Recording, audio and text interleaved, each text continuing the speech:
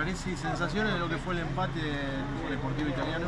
No, fue un partido raro, primero porque había un viento tremendo que cruzaba la cancha y era muy difícil jugar, era muy difícil defender la pelota y después cuando tenía que atacar se iba larga y después jugamos contra un gran equipo como italiano.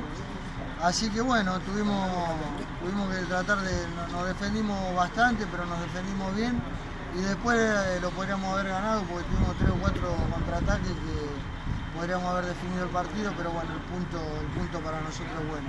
Importante que estuvieron todo el partido bien parado en defensa.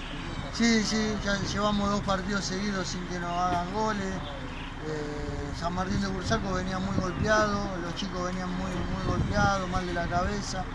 Y bueno, pero están demostrando que, que tienen una gana bárbara y bueno, de a poco cuando, cuando vayan tomando la, confianza que tienen que tomar, recuperar lo que saben, porque, porque son buenos jugadores, eh, vamos a recuperar el buen juego también, pero la verdad que, están poniendo una gana bárbara. Recortaste los circuitos a Deportivo Italiano y después en el segundo tiempo, como dijiste vos, casi lo ganan en algún contragolpe. Puntos altos, hablamos de Benavente, Fernández, eh, Ortigosa, el arquero Spurnik también anduvo muy bien.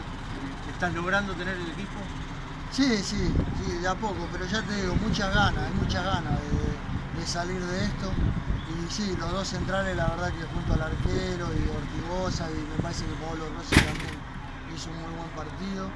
Eh, la defensa en general, eh, eh, creo que ahí, ahí se sostuvo el, equipo, ¿no? Así que bueno, hay que, hay que tratar de, nos tenemos que acomodar de atrás para adelante.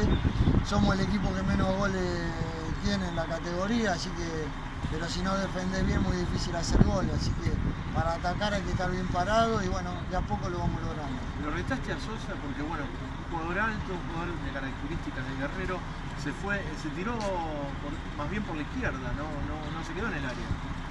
Sí, bueno, a veces cuando, cuando vos entras eh, no es fácil, a veces te acomodás enseguida en el partido y a veces te cuesta más. Y bueno, eh, esas son cosas que pasan, lo tendremos que trabajar. ¿Tenés en mente jugadores que puedan llegar puestos a reforzar en este equipo? Ahora cuando termine nos vamos a reunir con el presidente y bueno, vamos a ver cómo sigue todo esto. Muchas gracias. Gracias. La palabra de Néstor Ferraresi para los micrófonos de la caravana de la ciudad.